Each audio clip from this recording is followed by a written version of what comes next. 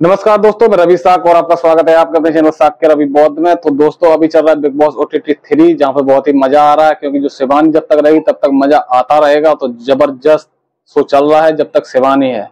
शिवानी जिस दिन बाहर हुई, उस दिन शो में मज़ा खत्म। इसलिए इंजॉय सिर्फ़ और सिर्फ़ शिवानी कराती है। तो दोस्तों, अभी पायल मलिक जी के बारे में बात करें। पायल मलिक बाहर आने के बाद अंदर क्यों गई थी? ऐसा क्या ज़रूरी काम पड़ गया?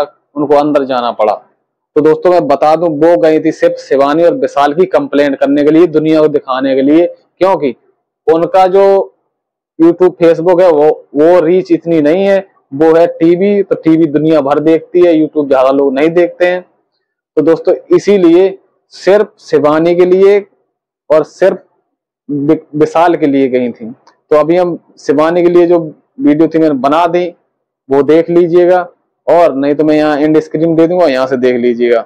अभी करते हैं विशाल की बात। विशाल ने सिर्फ़ क्या बोला था? विशाल ने बोला, भाभी, बहुत सुंदर है।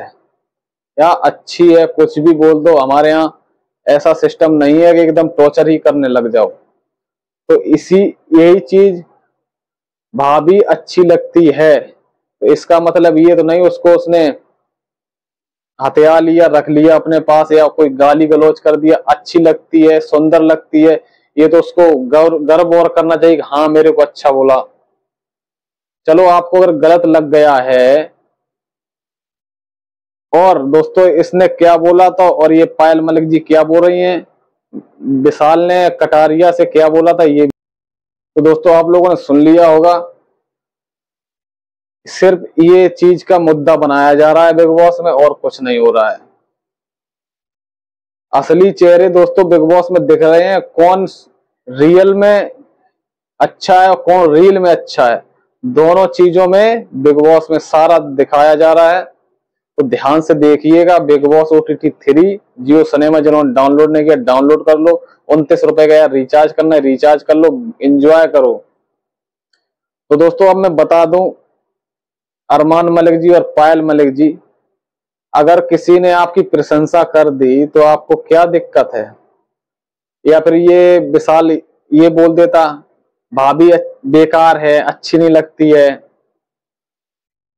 तो अच्छा लगता, उसने अच्छी बोल दी, सुंदर बोल दी, सुंदर को सुंदर बोला जाएगा अच्छा को अच्छा बोला जाएगा। ये आपका मकसद ये है कि हमारी देवरानी, हमारी बहन को उल्टा सीधा बोले कोई तो अच्छा लगेगा। तो दोस्तों, बस यही थी जो मसला ये चल रहा था। अगर आपका कोई सवाल है तो दोस्तों कमेंट करें, उसका भी जवाब मैं दूँगा। चलिए दोस्तों, मिलते हैं तब तक नमो बद्धा जय समर हो, जय भीम, जय भारत।